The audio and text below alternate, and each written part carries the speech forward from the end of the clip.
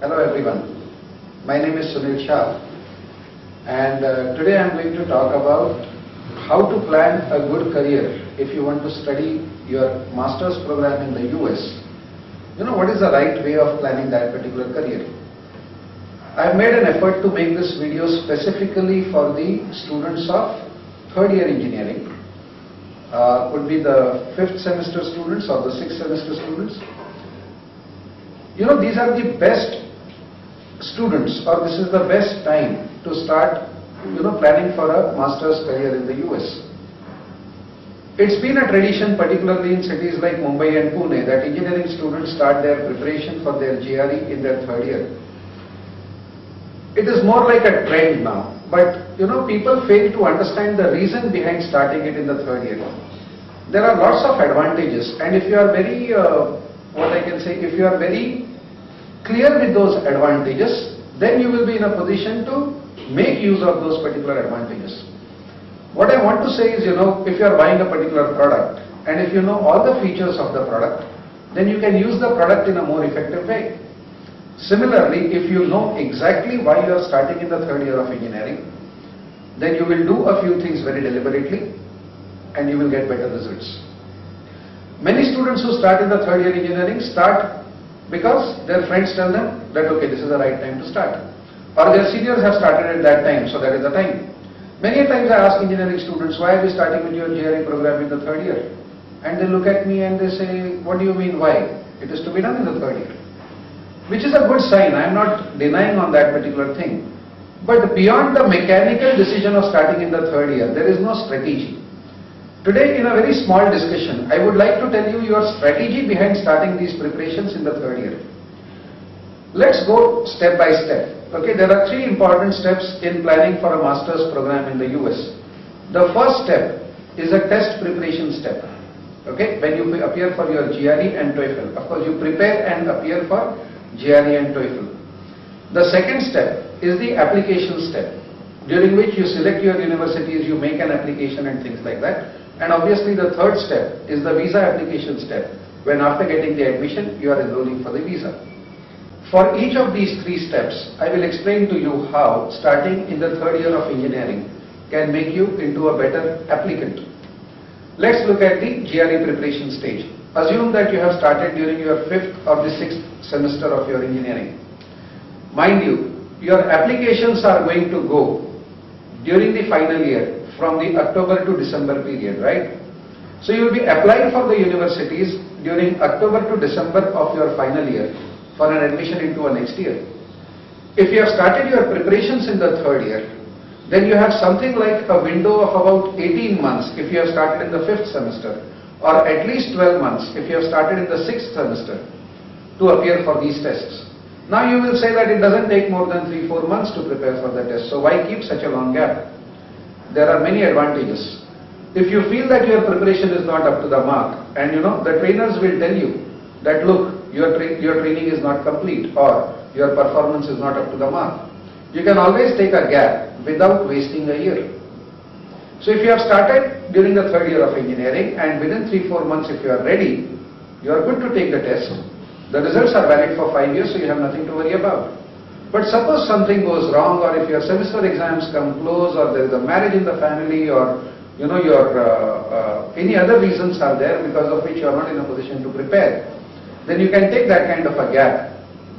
You know. So first of all, starting in the third year of engineering can keep your GRE exam date a very flexible affair.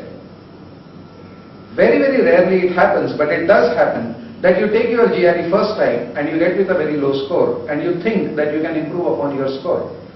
If you have started in the third year of engineering, you have time to do all that kind of thing. If you have started late, then taking a GRE twice may result into, you know, delaying your going to the US. And that's the reason why, one because of flexibility and two because of getting a chance to appear for GRE again. Starting in the third year of engineering is a very, very advantageous situation. Now, that's about the tests. Now let's look at the application process. This is something which most of the engineering students ignore completely. The advantage of starting in the third year results into a major enhancement of your application packet which you make in the fourth year. You will ask me how. I'll explain. You can select your final year engineering project based on the major that you want to specialize in. Like for example, if you are a EXTC guy and you want to do digital signal processing in your masters, then you can pick up your final year project in that particular field. You can do a lot of extracurricular and co-curricular activities during third and fourth year which are specifically aimed at impressing the admissions committee of a US university. I mean whichever third year engineering students come to me, the first advice that I give them is maintain a wonderful portfolio of extracurricular and co-curricular activities. Now you have time to do all that kind of thing because you have come to me right in the third year. If you come to me after your engineering or if you come to me during the final year of engineering, even if I want you to do you know, extracurricular and co-curricular, where do you have time?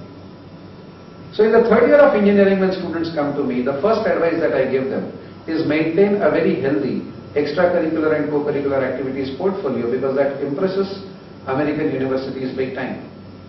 Now these are the advantages during the applications process. You have two years of your time to better make an application. You can select your final year engineering project based on the area of interest that you have or vice versa. You can select a program based on the final year engineering project that you have done. You can take your GRE, you know, more seriously, more flexibly during that particular thing. Now that's the strategy part of starting your preparations in the third year of engineering. Now let's look at some of the other advantages like if you come to me during the final year of engineering or after engineering or during the third year of engineering, the fees that are charged to you is one and the same. So sometimes I have students who complete their engineering come to me and say, Mr. Shah, I have not got any placements. So place me in an American university as fast as you can. I charge them 25,500 for the whole package. And a person who's coming to me in the third year of engineering, who has a two-year window to work with me, to work with the training department, to work with the applications department, is still charged 25,500. Now you tell me, even if you are taking a membership of a gym, you know, a six months membership for 25,500 and a two year membership with 25,500, it makes a lot of sense to go for a two year program. During those two years, not only academic in relation applications to the US, but academics in India also, the advisors can advise you as to what to do, what not to do.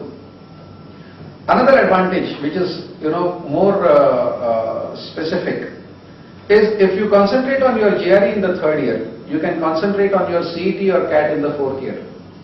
You know, because CET and CAT has a limited validity. GRE has a five-year validity.